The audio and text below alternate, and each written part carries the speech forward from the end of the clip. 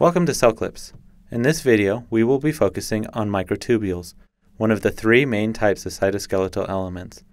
The cytoskeleton has a wide range of functions, such as establishing cell shape, forming adhesions, and assisting in cell movement.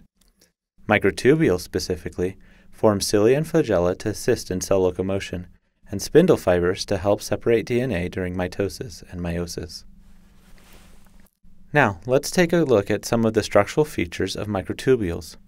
Microtubules are about 25 nanometers thick, making them the thickest and most rigid form of cytoskeletal element. They're composed of two different tubulin monomers called alpha and beta tubulin. Microtubules will self-assemble in vitro. Assembly begins when these two monomers bind together to form a dimer. Then, in a rate-limiting step called nucleation, Several dimers bind together, forming a hollow ring called the microtubule seed. The dimers align so that all the alpha tubulin tails are on one side, called the minus end, and all the beta tubulin heads are at the other, called the plus end. Once the seed has formed, more dimers can quickly stack onto the ring from either side. However, for reasons that we will explain later, the microtubules in our cells generally lengthen only from the plus end. The dimers assemble in a spiral formation that layers on top of the plus end of the seed. Each added dimer lengthens the spiral until it becomes a long, hollow tube. While each additional dimer is added to the side of the previous one to continue the spiral, beta tubulin heads and alpha tubulin tails also associate in linear columns called protofilaments. Microtubules generally have 13 protofilaments surrounding a hollow core. On its own, microtubule assembly is much too slow to be effective. That's why in our cells we have microtubule organizing centers to help speed things up. These organizing centers use a third type of tubulin called gamma tubulin. Several gamma tubulin monomers plus some accessory proteins bind together to form gamma tubulin ring complexes. This ring serves the exact same purpose as the microtubule seed by providing a place for microtubules to assemble. The gamma tubulin ring complex speeds up assembly because it bypasses the rate limiting step of nucleation. This time, however, assembly only occurs at the plus end because the gamma tubulin ring remains at the minus end, blocking the addition of new dimers. As a result, polymerization happens much faster at microtubule organizing centers than anywhere else in the cell. Now let's take a closer look at the two main types of microtubule organizing centers centrosomes found near the nucleus and basal bodies found at the cell membrane. Basal bodies are the nucleation site for cilia and flagella. Here, microtubules are assembled and arranged in a very specific pattern. First, two microtubules, one with 13 protofilaments and another with 10 or 11 protofilaments, link together to form a doublet. Then, nine of these doublets come together to form a ring surrounding two more microtubules, each with 13 protofilaments.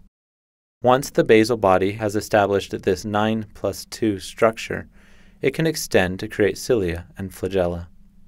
The second main type of microtubule organizing center is the centrosome. Each centrosome contains two centrioles surrounded by pericentriolar material. This material is rich in gamma tubulin, providing templates for microtubule assembly. The centrioles themselves are composed primarily of microtubules arranged in a specific pattern. In this case, three microtubules come together to form a triplet. Each triplet contains one microtubule with 13 protofilaments and two microtubules with 10 protofilaments. Nine of these triplets come together to form a hollow ring. The 9 plus 0 arrangement creates a single centriole, and there are typically two centrioles in a centrosome. During cell division, the centrosome organizes spindle fiber assembly. The microtubules of spindle fibers must lengthen to bind chromosomes and then shorten to pull the two chromatids apart. As you can see, the lengthening and shortening of microtubules must be a dynamic process. So how is this process regulated? In short, the answer is small GTPases. But let's walk through step by step to see how this process works. Both the alpha and beta tubulin components of microtubules can bind GTP. However, alpha tubulin is always GTP bound, while beta tubulin can hydrolyze GTP to GDP. During assembly, the only dimers that get added to the plus end are those with GTP-bound beta tubulin. GTP-bound dimers form strong bonds that don't easily break. This means that when dimers are being added, the plus end is very stable. As beta tubulin gradually hydrolyzes GTP, the tubulin binding interactions become weak and easier to break.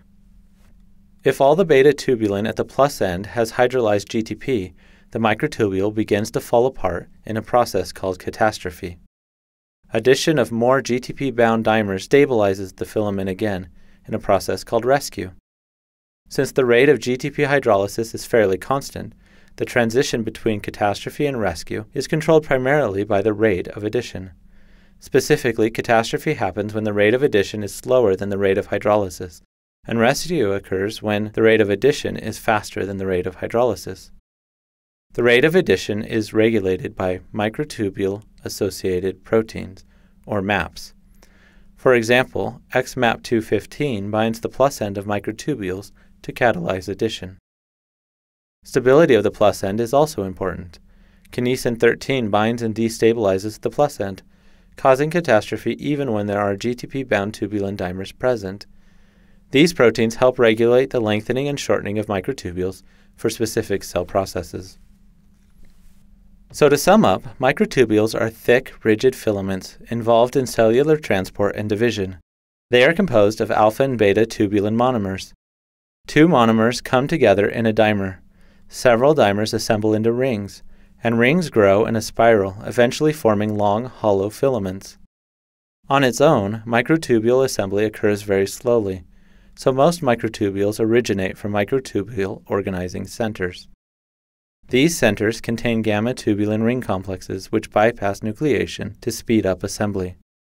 There are two types of organizing centers basal bodies, where cilia and flagella originate, and centrosomes, where spindle fibers and other cytoskeletal microtubules form. Tubulin bound to GTP forms stable binding interaction, while GTP hydrolysis by beta tubulin at the plus end destabilizes the microtubule. Thus, lengthening occurs when the rate of addition is faster than the rate of GTP hydrolysis, and catastrophe occurs when the rate of addition is slower than the rate of hydrolysis. Well, that's it for this video. Thanks for watching CellClips.